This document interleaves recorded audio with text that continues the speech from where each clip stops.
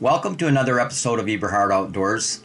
This is a story of a buck I took in the year 2000. It is about a six and a half year old buck that was an eight point, and in my opinion, he had been the luckiest buck I had ever taken. Yet by the time I took him, he was the smartest buck I'd ever taken, and I'm going to tell you why.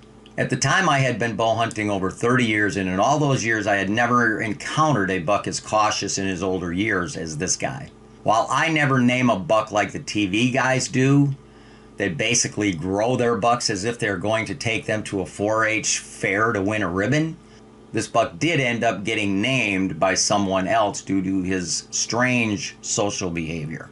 This buck became known in my small circle of friends as Wheezer, and he had very uncharacteristic social interactions with the matriarch does in his core area. I had been hunting from a modified two panel Anderson tree sling since 1981, and it's almost identical to what is now the Eberhart signature saddle sold by Tethrd, uh, with some modifications. By this time, I had also taught myself how to properly care for, store, and use activated carbon line ScentLok garments in conjunction with clean rubber or neoprene boots and a clean backpack, to the point that I paid zero attention to wind direction when hunting. Our first encounter was in early October 1997. I was perched 25 feet up a large red oak that was in a tree line bordering a drainage ditch that ran north and south. The ditch was wide enough and mucky enough that it required chest waders to cross. To the east of the tree was a five yard wide buffer of tall grass that many years ago had been a tractor lane along the ditch, and just east of the grassy buffer was a 40 yard or so wide patch of dense and tall redbrush, and east of the redbrush was a large CRP field of weeds that were tall enough to hide the body of a walking deer. About 15 yards north of the red oak was a smaller oak, and it had a primary scrape area beneath it with several scrapes, and I had a clear shot to all of them. To the west of the ditch was a crop field that was in standing corn in 1997. As a side note, this particular section was likely the most heavily pressured private property area I've ever hunted in due to the number of 10 to 20 acre parcels with homes on them conservatively, there were a minimum of 30 bow hunters sitting in trees in that 640 acre section every opening day of archery season, and likely double that amount of gun hunters on opening day of gun season. And it was extremely rare to see a buck grow beyond two and a half years of age. Keep in mind, back then, very, very few people passed on young bucks like they do nowadays. Just as it was cracking daylight, I decided to perform a couple of light sparring sequences, but the first sequence was all it took, as within moments I heard a deer moving through the dry cornfield in my direction. Within 30 seconds, a respectable eight point stepped out of the standing corn, stopped to look around, offering me a 10 yard broadside chip shot. While drawing my bow to take the shot, just as the cams rolled over, he spooked and ran down the side of the cornfield. At about 60 yards, he stopped and turned around to look back. And then within 10 seconds, he lost interest and went back into the cornfield. It was dead calm that morning, and I had no clue what spooked him as he wasn't looking in my direction when I drew my bow, and my ScentLok suit was dead quiet. So he couldn't have heard me or caught my movements. Anyway, he was gone, and I was upset because opportunities in this area for a buck I wanted to shoot just didn't happen very often. Wanting to know what could possibly have spooked this buck, once he went back into the standing corn, I drew my Golden Eagle bow slowly, and while the cams were rolling over, one of the cams made a slight tick noise, and he must have heard that. The draw length element was made of plastic, and there was a small gap between the element and the metal cam, and when it rolled over, there was a minuscule tick noise made when the gap closed, and the element clicked against the cam. Not once during my previous practice sessions was that sound ever made. At the time, I had no clue as to just how much frustration this buck was going to cause me over the next several seasons. On a hunt from the same tree in mid October of 1998, another hunter that also had permission rattled in a good buck just before dark. He had a Carry-Lite decoy out, which likely cost him an opportunity because the buck crossed the ditch with a doe from the tall weed field and stood on the edge and looked into what was now a picked soybean field. The doe walked out towards the decoy as the buck waded along the edge of the ditch about 50 yards south of the red oak. Does are more curious and tend to figure out decoys much quicker than bucks, and when she stiff legged to within 10 yards of Doreen, she spooked back across the ditch and into the CRP field, and the buck went with her. When he described the buck to me, I knew it was the same buck from the previous year.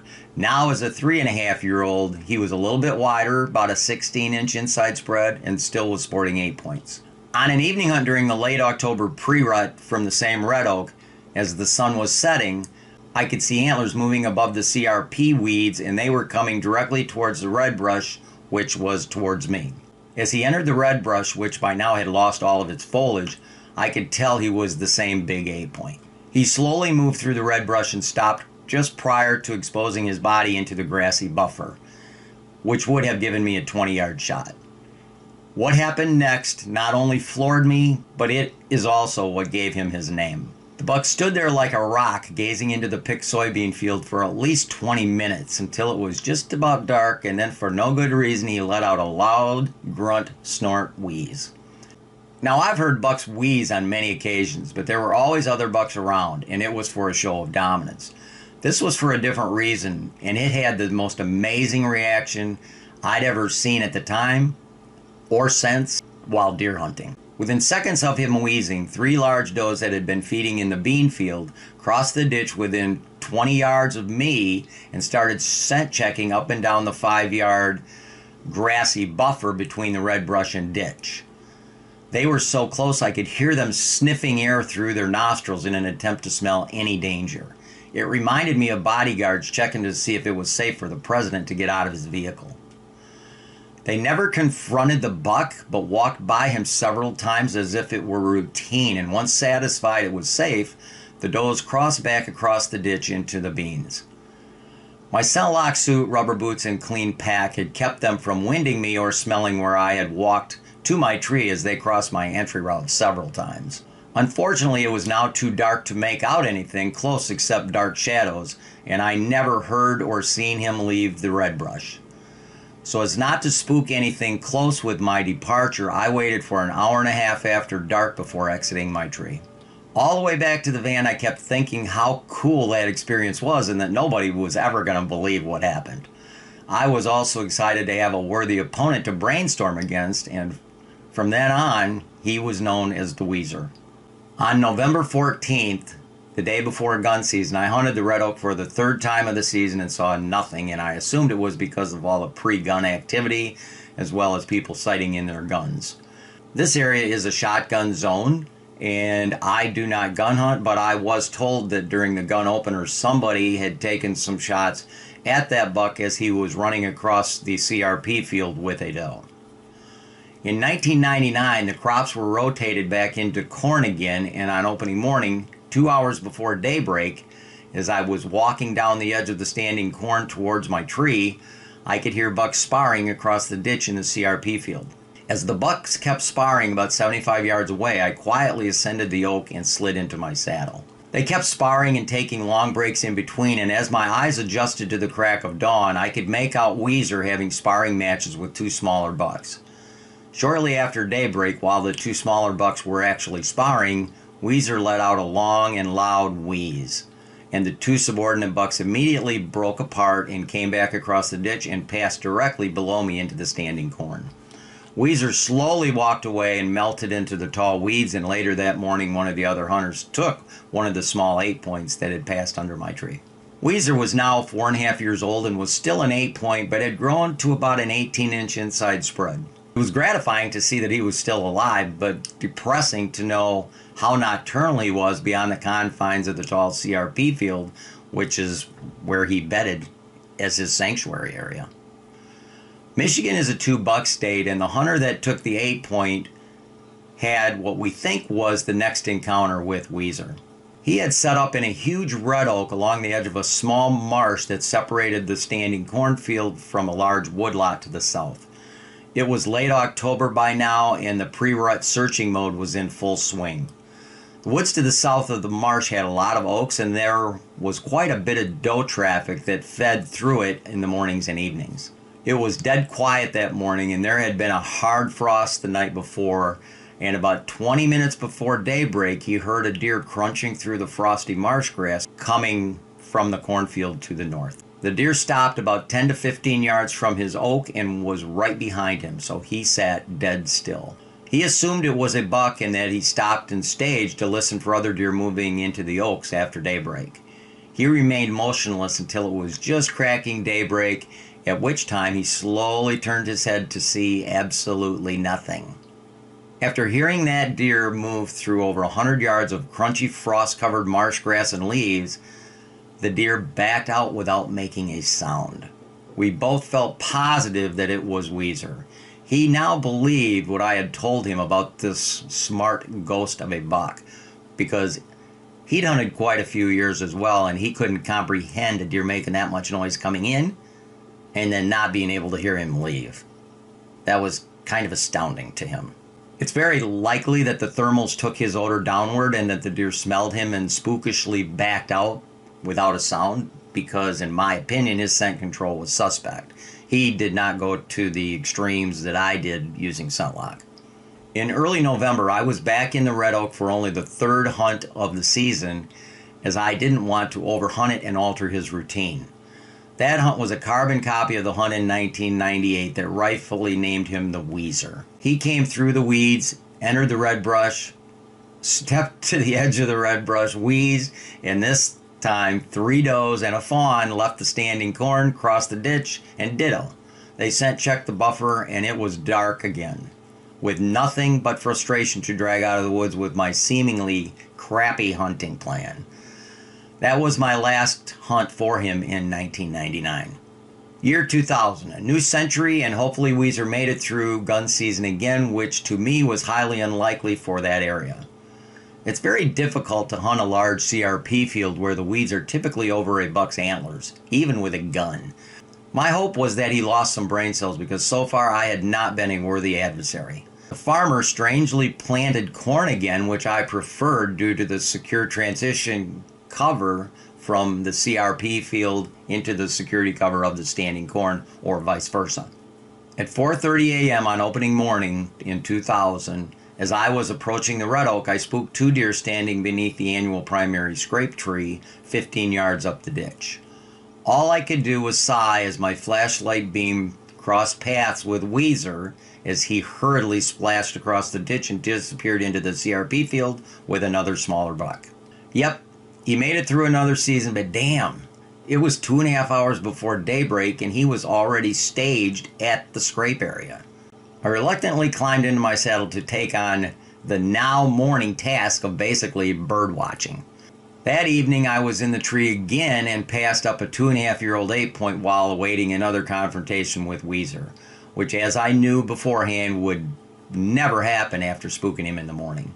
One thing I couldn't figure out was why he continued bedding in the weed field when there was at least a hundred acres of standing corn to bed in with total security and no chance of danger with a transition because he would already be in the feeding area. This puzzled me because usually that much standing corn attracts the dominant bucks to bed in. Oh well, I thought he is not a typical buck and he is not going to do what normal deer do. My next hunt was on October 21st. On an evening hunt, I decided to try and rattle him in as I hadn't performed a rattle sequence in that location the previous two seasons. As the sun was dipping beneath the horizon, I began the first sequence, and within moments I could not only hear, I could also see the tops of the corn stalks wiggling as a deer was moving in my direction through the standing corn. I tied my rattle bag to my bow rope and lowered it to the ground and jiggled it in the leaves to give an exact location for the deer that was closing in the distance.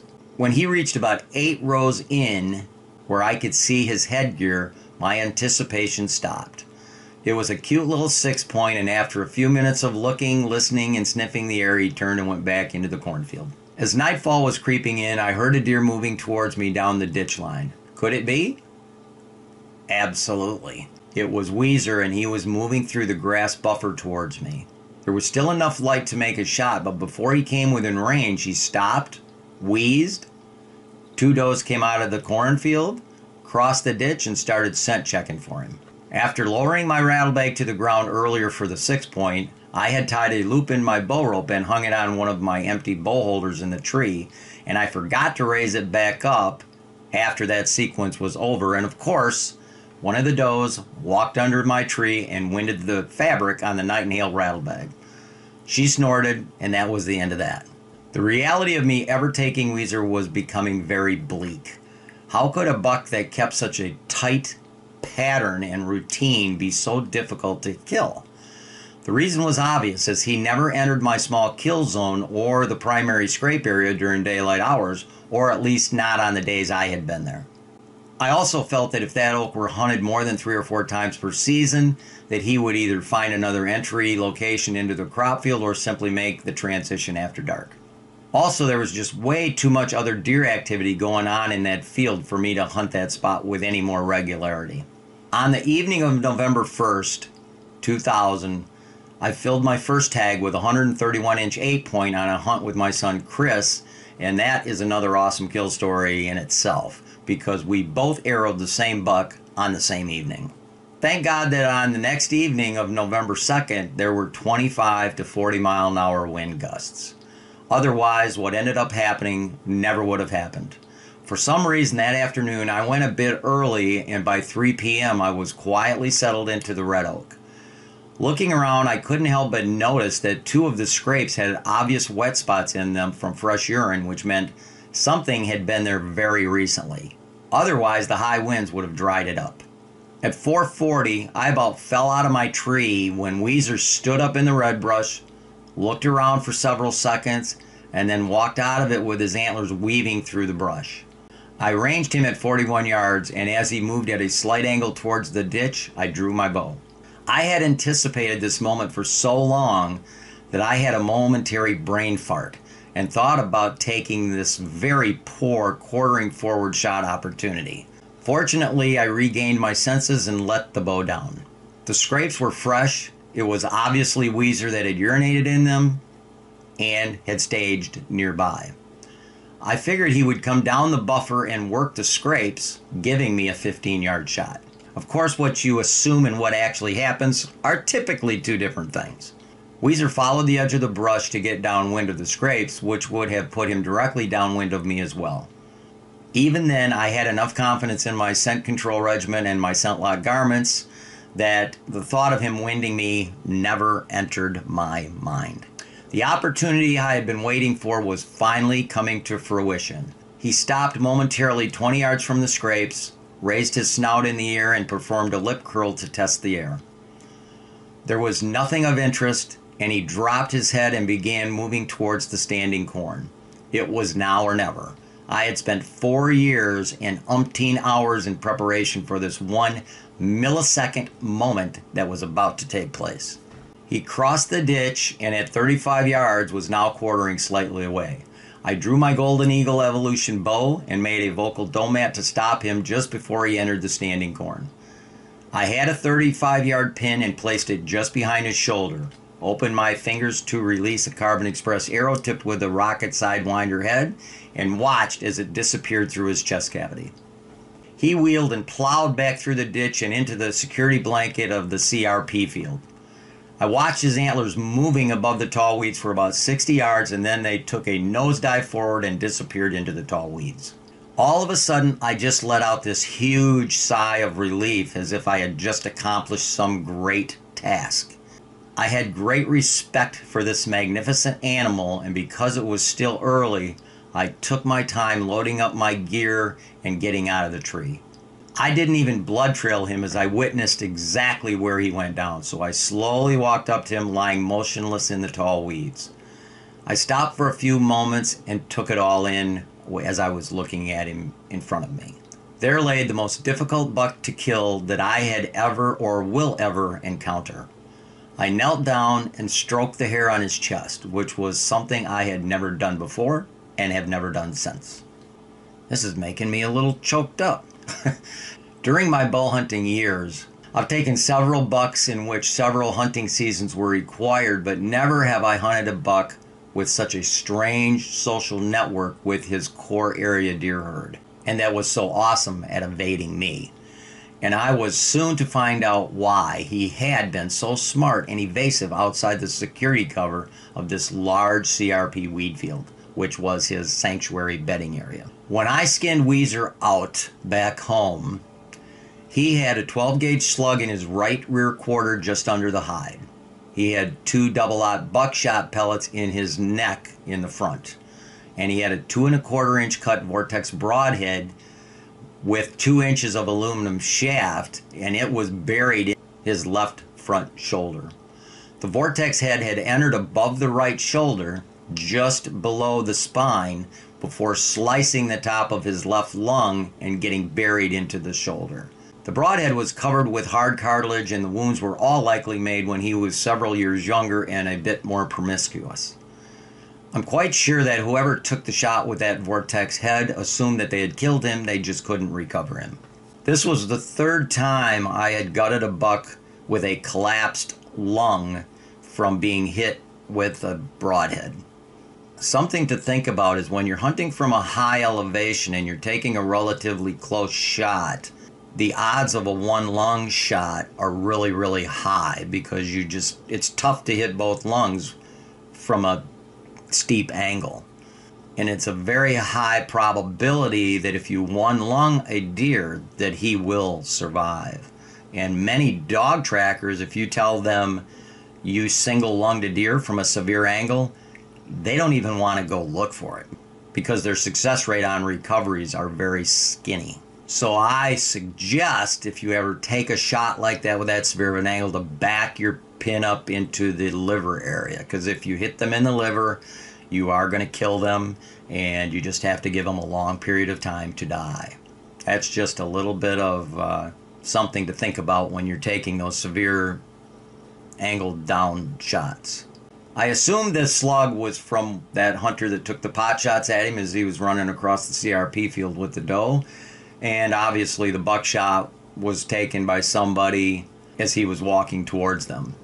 Wheezer dressed out at 178 pounds, and while I have taken many bigger bucks with much larger antlers in Michigan and lots of them with much larger antlers from out of state, Wheezer is hands down and by far the most rewarding buck I've ever taken. I want to lastly say every time I walk by all my bucks at Jay's Sporting Goods up in Clare, Michigan, I always, always look up at Wheezer and just kind of nod my head. I've probably taken 35 bucks that are bigger than him antler wise. He's definitely the most difficult buck I've ever hunted and killed in my life. If interested, the links to many of the podcasts I've been on, or for information about my two day whitetail workshops that take place in March and April, please visit my website at D E E R dash J O H N dot net. Thank you for watching another episode of Eberhart Outdoors and to receive notifications for future videos, please subscribe.